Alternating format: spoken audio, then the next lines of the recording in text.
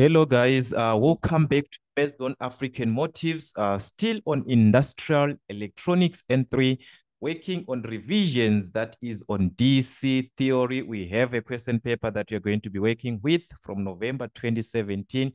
We are given on Kirchhoff's laws to study on number on figure one below and formulate uh, from it an equation which supports Kirchhoff's law. So we are supposed to formulate an equation uh, as long it supports the Kirchhoff's law in terms of current. So from our current law, we know that the sum of currents flowing into or towards the junction is equal to the sum of current flowing away or the algebraic sum of currents is equal to zero. If we add everything, we get a zero. Okay, so if you have to check I1 and I2, they are flowing towards our junction, this one. So if we add I1 to I2, this is equal to these two, I3 and uh, I4. They are flowing away. They are flowing away from the junction. So this is going to be I3 plus I4. So you can have it uh, as an equation like this, you're done. Or, or you can, uh, from formulating that the sum of currents must be equal to,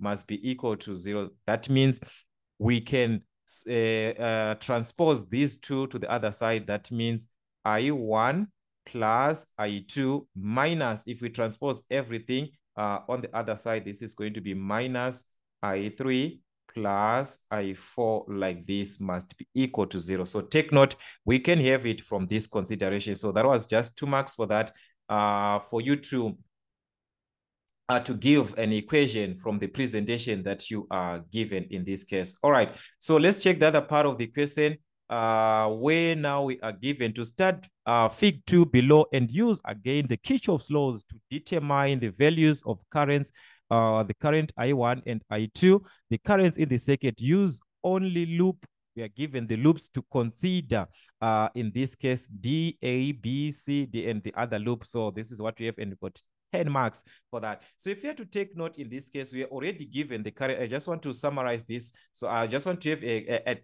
a, a look on the diagram so that we can uh, see how we have to answer. We are given the currents, some of the currents we are given as the numerical values. This is I2 uh, and our 8 ohm resistor. If we move on to this part here, we have got uh, I2, which minus 0, 0.8 and the 6 ohm uh, if we are to move to this part, we are given I1 minus zero. So each part is given its current, uh, the current that is flowing in each branch. So let's take a closer look on the loops that you are given uh, so that we can see how to attempt. So I'm going to, uh, to start with the first part here. We are given to use the loop uh, that is uh, from loop uh, D. So this is loop D, A, B uh, C back to D again. Okay, so let's trace this loop and see from D to A uh, to B to C. This the outer, this is the outer loop, the outside, this one, the outer part here, this one, the outer part of the loop. This is the one that we are to the out the outside part every so which means you are focusing with the outer part only. This is what you're going to to have. All right. So let's take we've got the voltage in this case which means this this voltage of 12 this 12 so in order for us to i'm just going to write the equation straightforward okay? So the 12 volts that we see is going to be the product of the current and uh, the resistors. Okay, so I want us to consider something here in terms of our branches. If you have to check the first branch uh, here, started from D, this branch here from D, from D to point A, this is D to A. We have got uh, I2 with 8 ohm resistor. So it's going to be current terms, which is 8 times I2. So this is going to be 8 I2. All right. From point A to point B, there is current I2 minus 0, 0.8. So this is going to be plus, we are still following the direction of the current, so it's going to be a plus. We are going in the same direction. So that's 6 ohms uh, times this current 2 minus uh, 0, 0.8. So that's minus, we, we are given is at I2 minus 0, 0.8. All right. We move on from the branch of B to point C. There's another current there, I1 minus 0, 0.8 and a resistor of 8. So this is flowing in the same direction we are maintaining. So it's going to be 8 uh, times this current which is I1 minus 0, comma 8. We move to the last part from C to D, from C to D, that is 4 ohms with I1. So we are going to have plus 4 times I1. All right, so that's what we had, guys, from this one. Okay, then we can expand everything, collect like terms, whatever that we have. So this is 6 times I1 It's a positive, so it's going to give, uh, that's 6I2, 6 times I2, 6 times minus 0, comma 8, which is going to give us minus 4, comma 8, uh, 8 times I1, which is 8 I1. Uh, 8 times minus 0, comma 8 is going to give us minus 6, comma 4. So this is minus 6 comma 4 plus 4i1 like this. So we have formulated the equations. What we need is to just uh, collect the terms together so that we can have this as a final uh, equation. So this is what you're going to have. 12 is equal to, let's collect our terms together. So we've got i1, uh, this 8i1 plus 4i2. These are like terms. So it's 4 plus 8, which is uh, 12 in this case. So this is going to give us 12 I1. We move on to I2. This is 8 I2, 6 I2. So it's 8 plus, uh, 6, which is going to give us 14. So this is going to be plus uh, 14 I2. Then we have got uh, the numbers uh, that are left. We have got uh, minus 4, comma 8, and minus 6 comma 4. So if you subtract these two, minus 4 comma 8 minus 6 comma 4, we are going to obtain minus 11 comma 2. So we can transpose uh, from this part, we can transpose this minus 11 comma 2 to the other side of the equation. So it's going to be plus 11 comma 2. So that means we are going to obtain uh, 23 comma 2, which is equal to these two, which is 12 I1 plus uh, 14i2 in this case. So we have an equation. We are done. From this part, we have formulated from the loop that we were given as uh, uh, D, A, B, C to D, this loop that we used uh, uh, from this part. Okay, sorry for that. Sorry for that in this case. All right. So we use this part of the loop, all right? So now we are going to the other part of the question here. We are given to consider this time loop D, uh, A, C, B, uh, C, D in this case, all right? So I'm going to check for this loop here. So let me just write it aside. So it's the loop uh, D, A, C, D. All right, so I'm going to remove the, this other part that we had so that you can properly see this one, uh, D, A, uh, that is uh, from the point D here to A to C back to D, which means we are focusing with this inside of the loop. So I'm going to remove this part so that we can properly see this loop. All right, so let's see what you're going to, to have. So this is going to be taken uh, this way. So I want to be very careful here. Uh, from the point D, this one, to A, so you're going to refer to A, uh, to C, then back to D this way. So this is the loop that you are going to use. So in this loop, we have a voltage uh, there, which is 12. So still applying the same concept that this voltage is going to be the product of the currents. So uh, this branch from D up to A, we talked about this one. It's uh, 8 times I2. It's not going to change. So this is 8 I2, just like the previous one. But we are going to take now from the point A to the point C.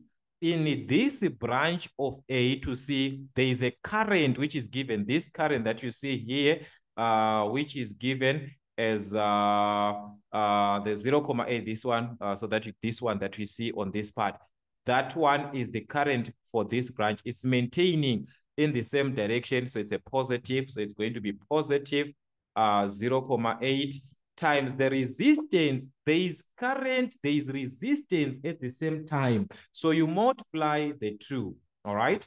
Plus, we move on from this branch of C uh, back to D. We are having the same consideration just like the previous one we have I1 in the same direction with our current flow. So it's going to be 4 times I1. So this is going to give us uh, 4 I1 in this case. All right. So this is the last part of our branch which is of 4i1. So with this, we can simplify further. That's 12 is equal to, uh, if we are to simplify further, uh, this part of our equation, we can collect our like terms. That is, we are going to have 8i2 plus uh, 0, 0.8 times 2, which is going to give us uh, 1,6 plus uh, 4 I1. All right, so this we can transpose the 1,6 to the other side of the equation, which is going to be a negative 1,6 on this side because it was a positive. So this is going to give us uh, 10,4, which is equal to uh, 4I1 plus 8I2, of which you can even reduce your equation by 4 if you want. You can reduce your equations or you can just leave it like that. All right. So these are the uh, branches that we had. Uh, sorry for that. These are the branches that we took our equations. That is uh, the loop, uh, first loop and the second loop. We formulated our equations. Now we can calculate the unknown currents uh, from these loops that we had. Uh, so the question is actually to solve for I1 and I2. Uh, these are the currents. So I'm going to take the first equation from this equation here. This is our first equation. So from our first equation, if we are to rewrite this, we are going to have it as 12i1 plus 14i2, which is equal to uh, 23,2. Then the second equation, uh, sorry for that, sorry for that. This is our second equation here uh, that we obtained. So we are going to have this as our second equation, which is 4i1 plus 8i2 which is equal to 10,4. So this is what we are going to have on our second equation here so that we can solve our equations.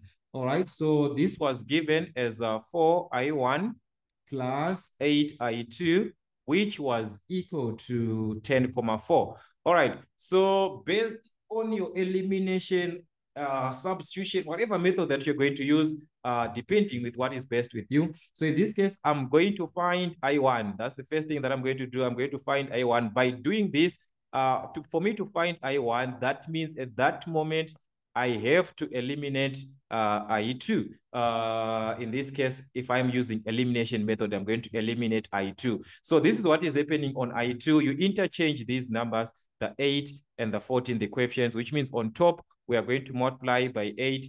Uh, on the second equation, you're going to multiply by 14. You just interchange. But in a case where these two equations can be, I mean, these two values can be reduced, you have to reduce in this case uh, so that you work with the smaller values. Like in this case, I can reduce uh, these values. I want you to see what I'm trying to say. If I am to have this, it's 8 on top, 14 below. So I'm going to use this as 8 uh, divided by 14 like this. This is going to give me 4 over 7. So what does it mean? It means on top, I'm going to multiply by 4. Below, I'm going to multiply by 7. So it means here, we are going to multiply by 4. We are going to multiply by 7. Instead of these values, we can use reduced values. These are the ones that we are going to multiply uh, the given equations in this case. All right, so that is how you can actually have this part uh, presented. Okay, so that means we can substitute, we can multiply uh, from the top by four. Four multiplies everything, guys. Make sure this number, it multiplies every, everything, all right? So that means we are going to have uh, 4 times 12 in this case, which is going to give us uh, 48 I1. 4 times 14, which is going to give us plus 56 I2 equal to 4 times 23 comma 2, which is going to give us 92 comma 8. The same thing with 7. It multiplies everything. 7 times 4, which is 28 I1. 7 times 8, which is uh, 56 I2, is equal to 7 times 10 comma 4, which is uh, 72 comma 8 in this case. So by doing this, we have got our equation one, our equation two. So we can subtract. Remember, I told you guys, if the signs are the same, you subtract. If the signs are different, you add. So these two, they are the same. You are going to subtract. So that's equation one minus equation two. Okay, so let's subtract each and every part.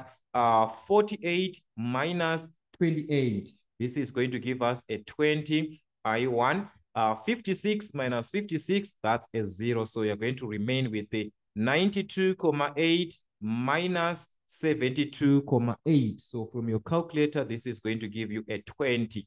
Uh, all right, so divide by 20 both sides so that we can remove this 20 on I1, we remain with a 1. So which means I1 is equal to 1 amp.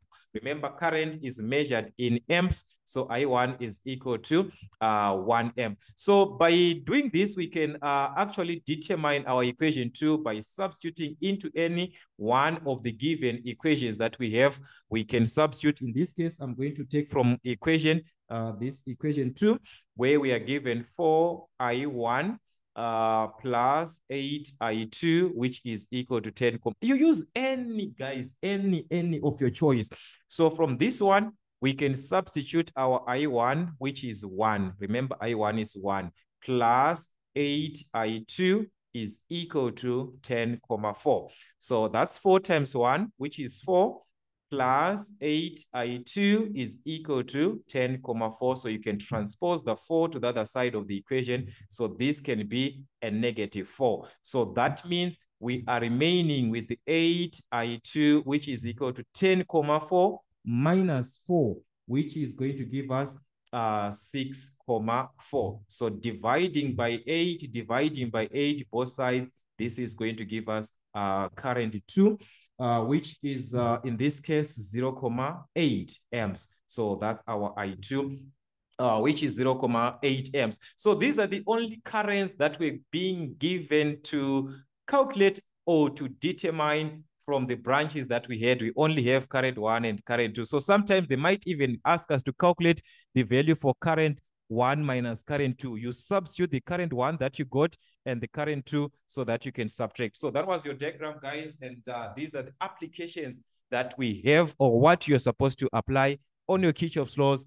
Uh, so that's what we had from Maths Zone African Motives. Uh, still on industrial electronics N3 uh, till we meet again.